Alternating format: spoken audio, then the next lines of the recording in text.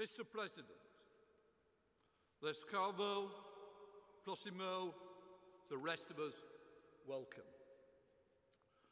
Not many people stood here today in this significant setting will realise that our friendship began on the 8th of October 2020 when you were the first ever head of state that I met as Speaker. We hit it off immediately with much laughter over an English afternoon tea and, of course, chorley cakes. And we forged an instant bond despite wearing masks and being socially distanced at the opposite ends of a large table. Because, like the rest of Europe, we were working out how to deal with COVID. Little did we know that our relationship would grow in such turbulent times. On the 24th of February 2022, the second invasion of Ukraine began. On the 8th of March 2022, there was another first for us both. I suspended the House of Commons so that you could address in Ukrainian through the screens in our chamber, which we still refer to them as Zelensky screens. The atmosphere was electrifying. You could hear a pin drop before you came online, a very, very rare thing in the House of Commons. You spelled out the horrors of the first 13 days of war. Your speech was devastating and powerful. Today, on the 8th of February 2023, now deep into the war, we are honoured that you have put yourself at risk to address us and again shine a light on the fact your country is still fighting for its survival. This hall has been the place of many great historical events. Your presence here today adds another to them. The war, as you know better than any of us, has lasted for nearly a year. As you told us last year, this is a war Ukraine did not start and did not want. But it is a war you've had to fight, and our commitment to support you and your people has not wavered. I was considering what could be said at this important occasion. I thought back to the 1990s. Then we hoped that all countries that emerged from the former Soviet Union could secure freedom and prosperity. There was a moment of hope over that time, and we knew it would be a long time that each country could choose its own destiny. It is a tragedy that Ukraine's efforts to bring freedom, prosperity to its people has been met with war and death.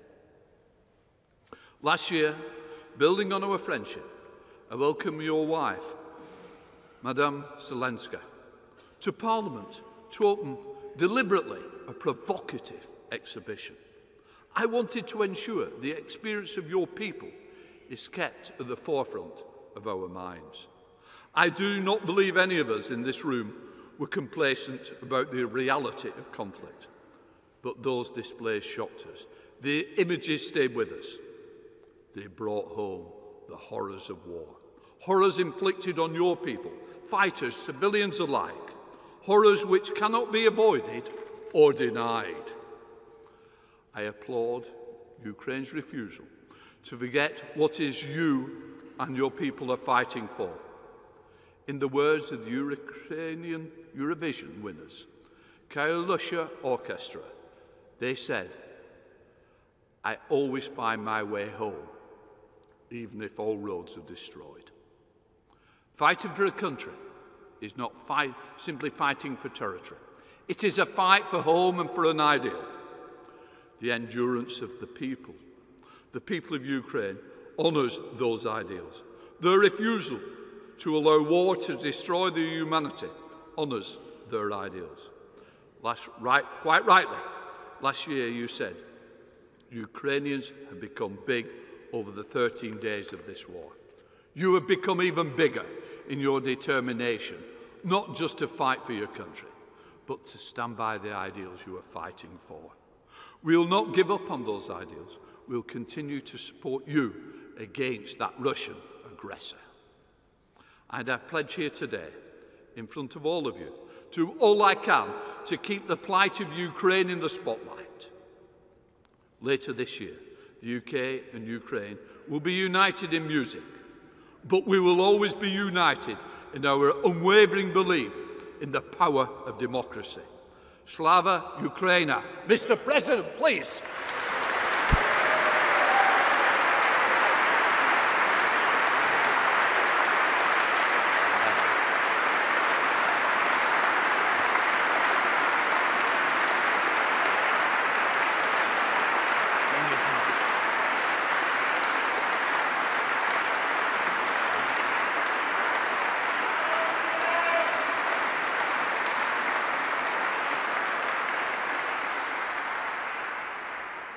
Thank you so much.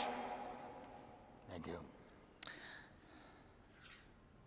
The people of the United Kingdom and their honorable representatives, all the people of England and Scotland, of Wales and Northern Ireland, of all the lands which have been home to brave souls since Europe came into existence.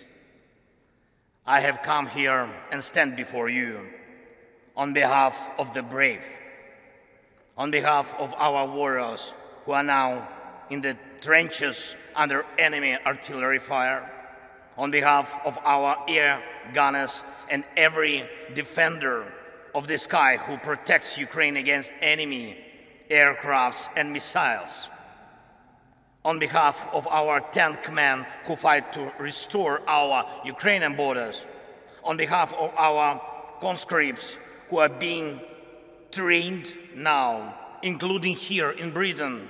Thank you, Britain.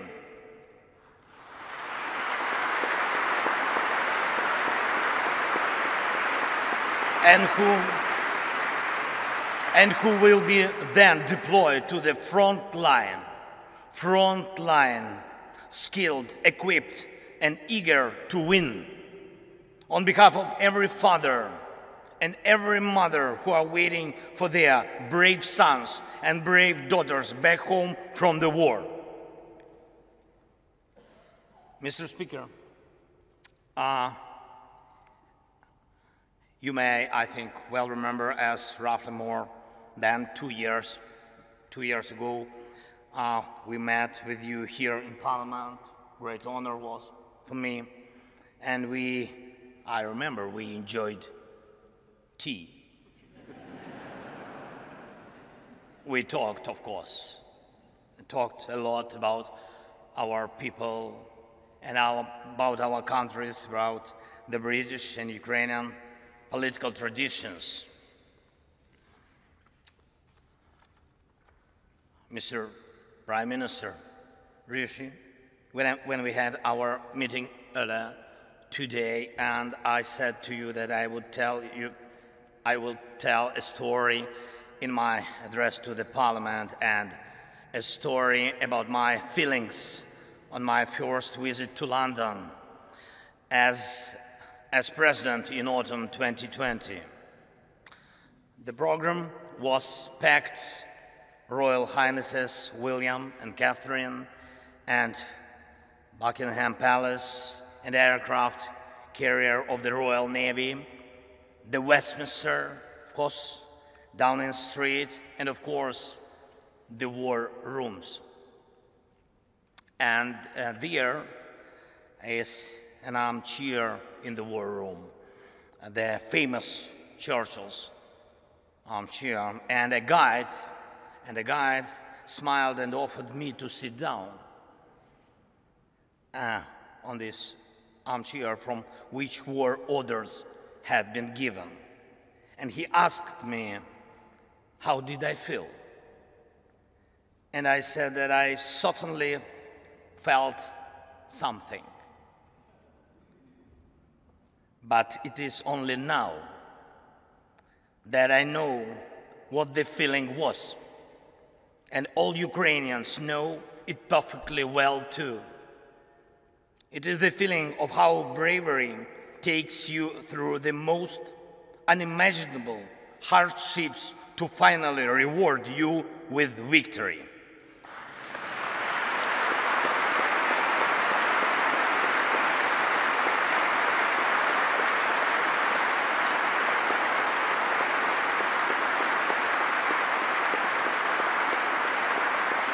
Ladies and gentlemen, ladies and gentlemen, I thank you for your bravery. Thank you very much from all, from all of us. Yes, please. That is for you. All applause for you.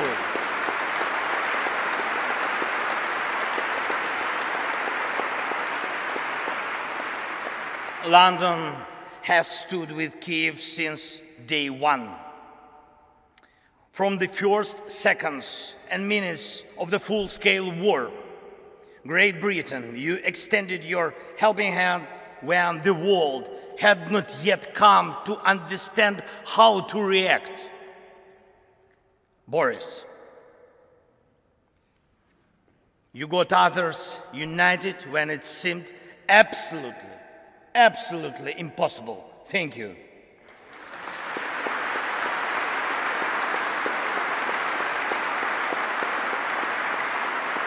You, all of you, you all showed your grit and character back then. Strong British character. You didn't compromise Ukraine. And hence, you didn't compromise your ideals. And thus, you didn't compromise the spirit of these great islands. Thank you very much.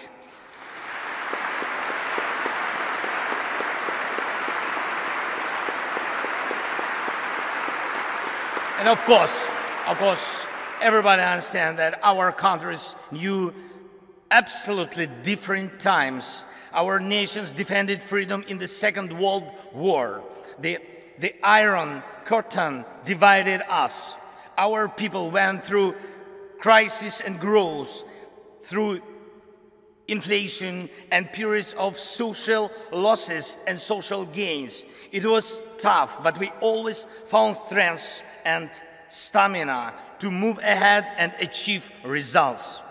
This is the bedrock of our land and your traditions. Ukrainians and Brits defeated the fear of war and had the time to enjoy peace. No matter what we encountered on different, different stages of our, of our and your formidable history and you, you and us, and the whole mankind achieved similar result. Evil lost.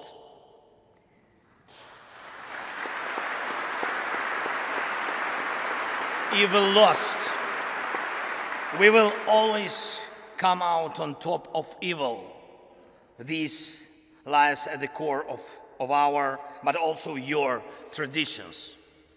However, the horizon never stays clear for a while. Once the old evil is defeated, the new one is attempting to rise its head. Do you have a feeling that the evil will crumble once again? I can see in your eyes now we think the same way as you do. We know freedom will win.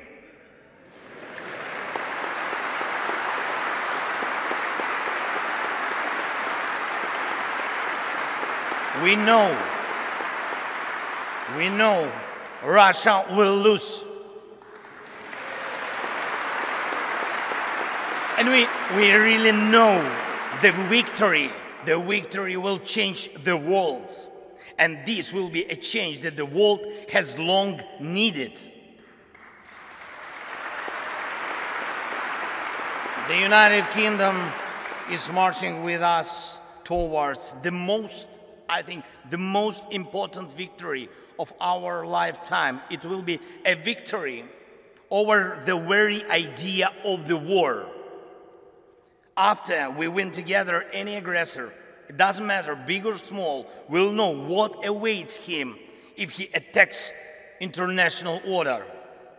Any aggressor,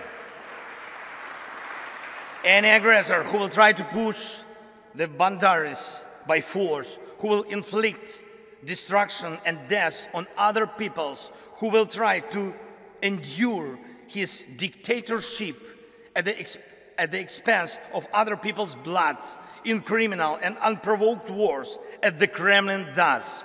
Any aggressor is going to lose.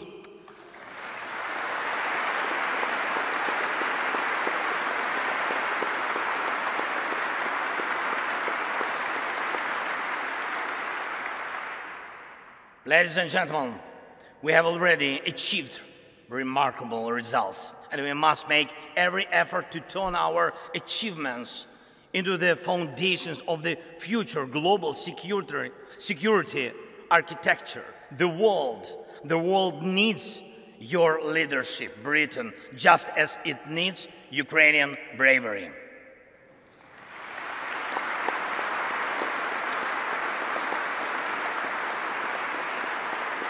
When the full-scale invasion began, we, together with you, Britain, and United States and other allies, formed a true coalition of friends. That is very important. You were among those very few who had helped before the large-scale invasion began, exactly as it will be necessary every time in the future to prevent aggression from happening.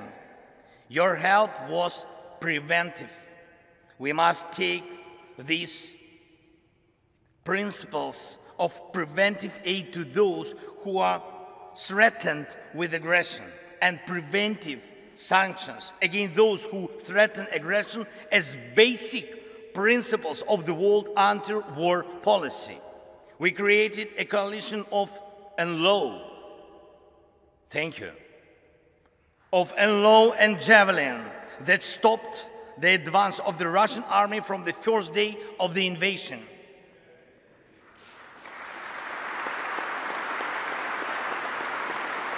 We built the coalition of artillery rounds and a coalition of air defense which allow us to save the lives of our children, of our people, of our civilians, our women, our elderly, and our cities from Russian from Russian atrocious occupation and missile terror.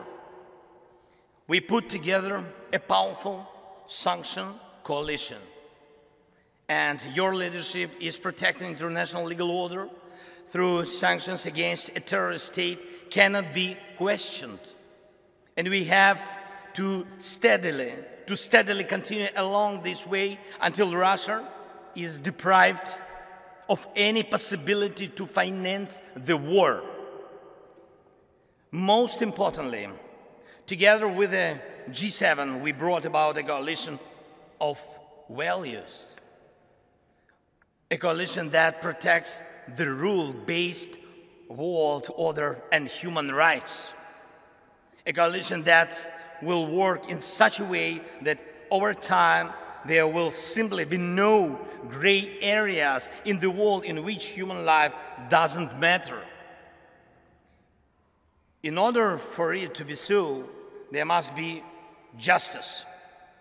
Anyone who invests in terror must be held accountable.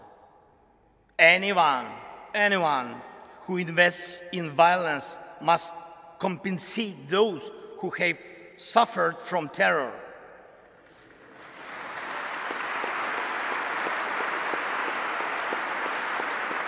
Terror, aggression, or, or other forms of state violence. Our proposals for the creation of a special tribunal for the crime of Russian aggression against Ukraine and special compensation mechanism which will compensate war losses at the expense of Russian assets are based on such, on such principles. Justice is one of 10 elements of the peace formula proposed by Ukraine and supported by Britain. I thank you for your readiness to invoke the formula. Thank you, Prime Minister. Thank you very much.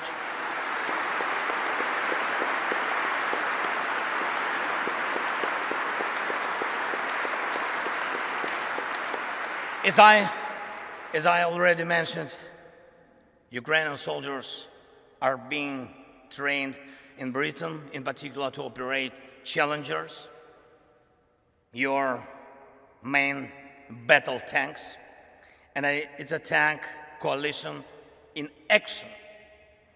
And I thank you, thank you, Rishi. Thank you very much for this powerful defensive step for tank assistance. Thank you. The coalition of long-range missiles is the latest of all.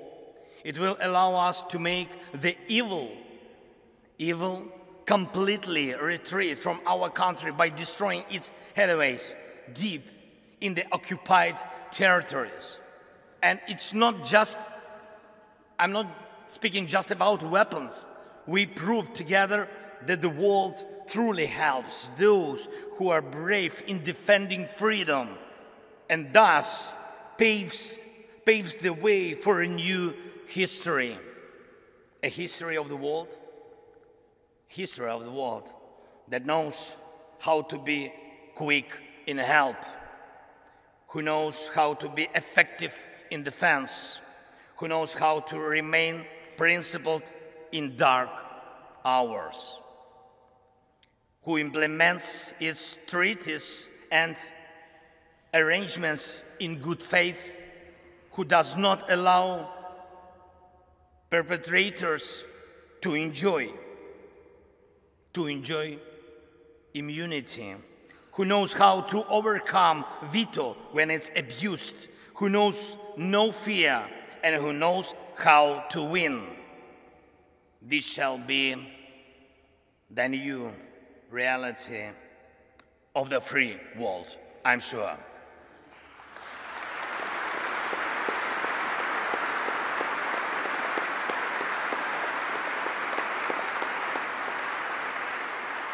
However, evil, evil, evil is still, is still around, around today, and the battle continues. Yes, we know how it's going to end and how we are going to feel on the day victory comes. Every day we continue to pay, to pay with lives. Pain and tears of bringing, for bringing victory closer. With the lives of our, of our people, our heroes, whom we lose in battles, with the lives of our heroes who take life and death risks every day to save as many of our soldiers and civilians as possible. And today, I will have the honor to be received by His Majesty the King. It will be a, a truly special moment uh, for me, for our country and in particular because I will convey to him from all the, all the Ukrainians the words of gratitude for the support His Majesty showed to them when he was still the Prince of Wales. And I also intend to tell him something that is, I think, that is very, very, very important, not only for the future of Ukraine, but also for the future of Europe. In Britain, in Britain, the king is a, an Air Force pilot.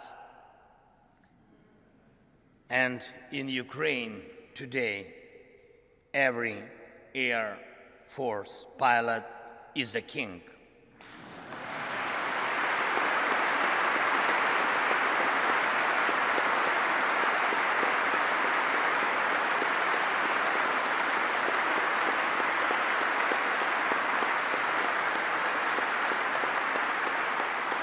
For us, just, just for us, for our families. Because they are so few, they are so precious that we, the servants of our kings, do everything possible and impossible to make the world provide us with modern planes to empower and protect pilots who will be protecting us and I'm proud of our Air Force. And I brought a present from them to you, Great Britain. Yes, please, open, please. Yes. Yes. To the speaker. Yes, speaker. Will. And it's it's I, I I will explain. It's the helmet of a real Ukrainian pilot. He is one of our most successful aces, and he's one of our kings. And the writing on the helmet reads We have freedom, give us wings to protect it.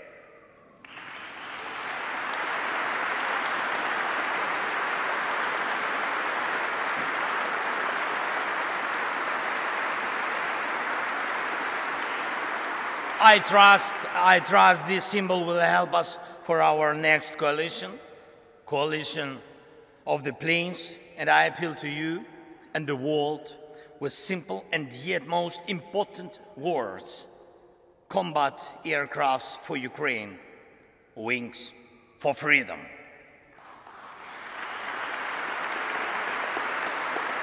Great Britain, Great Britain, you and us both struggle for peace, but instead of we are forced to face the range that seeks to deprive us of peace and everything else that is valuable in life.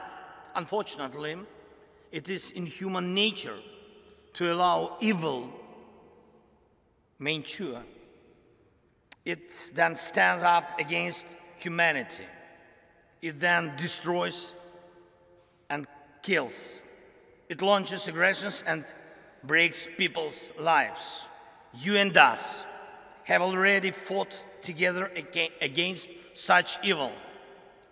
You and us already have the experience of defeating the evil that is generated by human nature.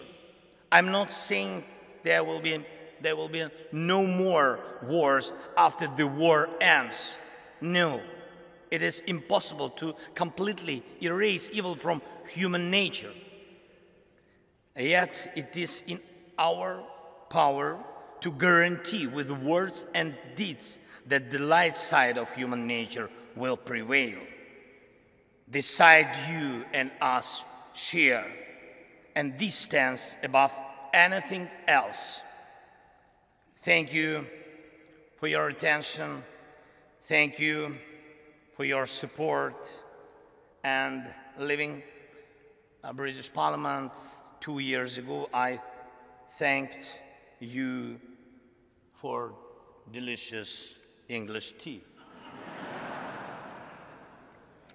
and I will be leaving the Parliament today, thanking all of you in advance for powerful English planes.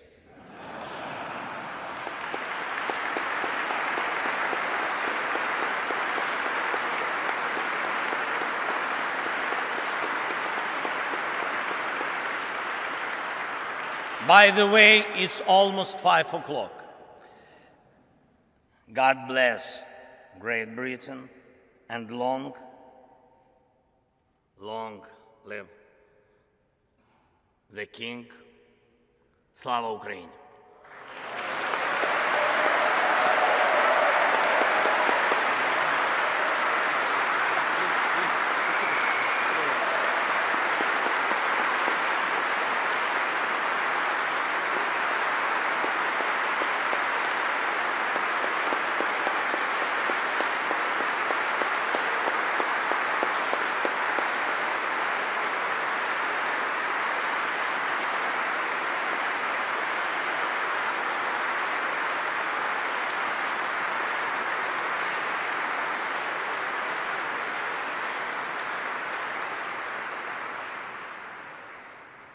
Thank you, Mr President, for being with us today and for the powerful address that you have just given. The bravery, resilience and fortitude of you and your people is a great example to all.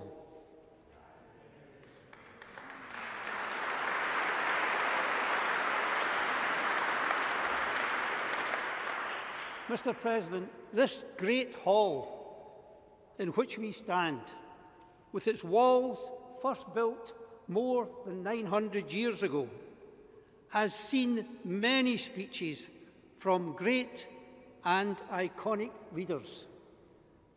Today's event will weave a new panel in that rich tapestry of history. Thank you.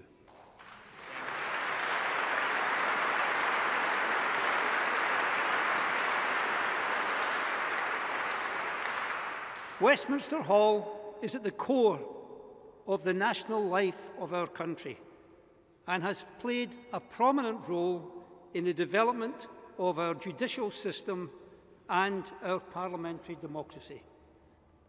But the story of this hall is also a tale of resilience and of remaining steadfast in the face of disaster. While fire raged around this site in 1834, destroying our old Parliament, Westminster Hall stood proud. When during the Second World War bombs rained on London, Westminster Hall remained largely undamaged, stoic in the face of great peril. This hall reminds us that in the face of challenge and conflict, symbols of our national identity and sovereignty will endure, giving powerful and visible hope to our peoples during times of tribulation. In the same way, the endurance of your government and its institutions in the midst of a colossal threat to Ukraine continues to inspire your population and millions more beyond your borders. This endurance and inspiration rests in large part upon the leadership that you have demonstrated since your country was forced into this terrible conflict.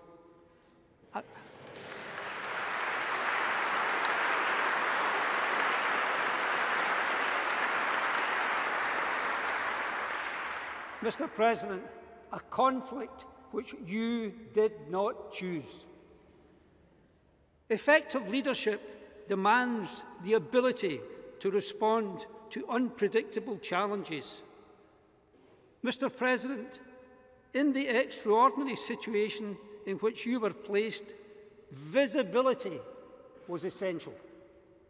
In testing times, leaders must be visible to their people and from the outset last February, when bombs were falling on Kiev, you were visible.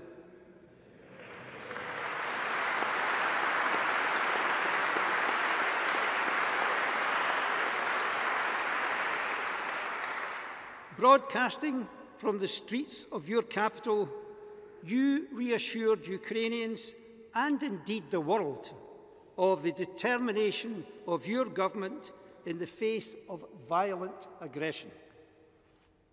Your leadership has been steadfast. In the early days of this conflict, some suggested that the Ukrainian state could not withstand the Russian threat and that the war would quickly end in one of your broadcasts during the early bombardment, you famously said, We are all here. You did not leave. You showed the world that your government was still at work in Kiev and was fully committed to the defence of Ukraine. Your people have followed this example with an inspirational display of bravery. Vision has also characterised your leadership.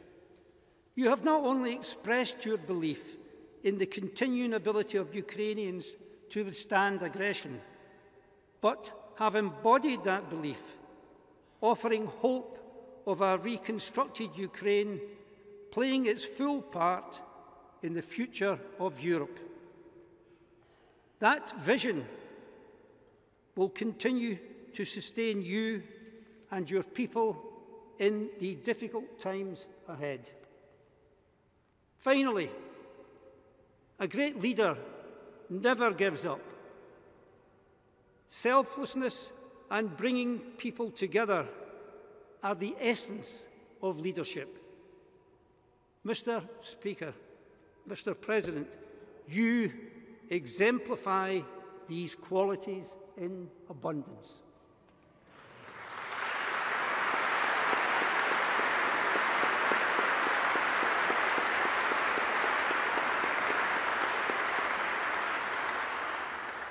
We salute your determination, your resilience, your courage. So let me thank you once again, Mr. President, for your visit today.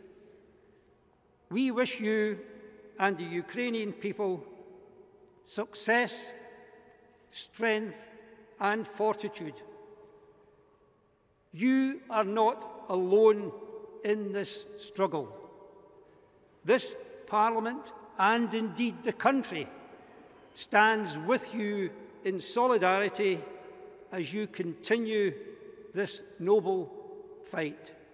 Thank you for your visit, Mr. President.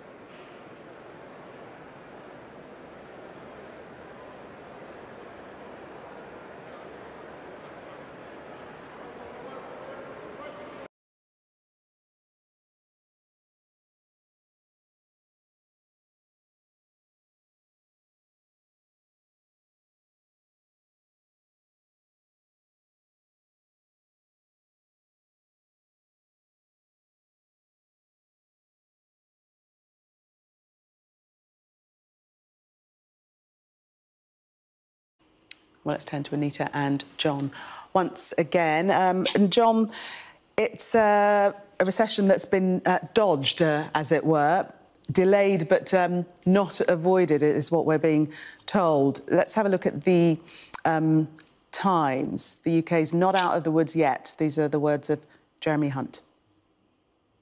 Yeah, so obviously it's good news that the country is not yet in a recession, but you look at those figures for the fourth quarter of last year and absolutely no growth at all. It's uh, just only just dodged uh, going into a recession. And one of the interesting points made in that article in the Times is that even though there were times last year where the economy was growing, although not particularly in a strong way, the UK is the only European country in the G7 where the economy at the moment still hasn't got back to the level it was before the pandemic. And I think there's big questions about why hasn't that happened in our country? Why has the growth been a lot slower than in other places? And yeah, we may not be in a recession, but people are really feeling the hit at the moment. There was mention there in that piece about energy bills. We know that energy bills are due to go up by a fifth in April. And I think a lot of people just hearing that will just dread and just think they're struggling to make ends meet at the moment. The idea that energy bills can go up even more, I think people will just think, well, how on earth am I going to pay for that? Yes, and uh, Anita, as, as John's saying there, you know, technically not in recession, but people are still feeling it. Um, it's cold comfort to them, isn't it? Literally. Absolutely. Um, and uh, the of Frank Luntz often says, like, it's about how people feel um, about whether there's a recession, because what what does it technically mean that there are there haven't been two quarters of negative growth? Um, but what's really interesting about this, as John says, um, is that really the story of growth here is is not immediately evident, growth is expected to be close to zero in 2023. And not only is that a problem for um, you know, voters. Um, it's a huge problem for the government who want to, at some point, reduce taxes and help to um, shepherd the economy onto sunnier uplands. And also, it creates a political problem for Rishi Sunak because there is a group of conservative backbenchers who vociferously would like to see more pro-growth policies, and that does explain. I think it's certainly you know the briefing in the I newspaper, and certainly I'm picking up from my sources, Jeremy Hunt screwing away in the department looking for more growth. But that story of the economy is going to dominate because what we saw in December of 2022 was deeply disappointing for the hospitality sector, but actually more widely because um, the, the, the size of the economy, when you compare December of 2022 to December of 2021, it was worse in 2022. Um, so this really is an extraordinary, difficult time. So Jeremy's right to say we're not out of the woods. I would say we're quite deep in the woods still. Mm, and John, questions turn to, to how exactly he's going to grow the economy. The I looking at a, a, couple of suggestions for the Chancellor. Yeah, so as Anita says, a lot of the backbenchers on the Tory side are calling for tax cuts, but we know how that went with Liz Truss with she tried tax cuts and that didn't seem to be a particularly great way of helping. The government's also looking at other ideas. How do you get more people into work? The official unemployment number is 1.2 million, but actually, you look at the number of people who are working age who either aren't in work or not looking for work, and that's about 9 million people. And so that's why you see on the front page of The Guardian talk about how the Treasury is looking about could you increase the number of hours of childcare you give to people to help people into work, particularly young women who may be uh, struggling to increase their hours because of childcare is something that the Labour Party's been calling on. It's something that the CBI has been calling for, and it sounds like it's something they're looking at. Although how generous the policy will be, I think that is more of a question. And also, there's uh, talk about whether you help people who are out of work by doing more work coaches. I think the issue with that is, yeah, that could be great if you are really encouraging people into work that's suited them. But if it's a one size fits all approach, that may not be so handy. Yes, the I list of uh, things to be done to boost the economy cut taxes, raise spending, ease labour shortages, deregulation and reform planning. Wonder if the um, Chancellor will be having a read of that. Anita and John, for the moment, uh, thank you. Coming up, we'll have a full run through of tomorrow's front pages and discuss more of the day's news. Do stay with us if you can.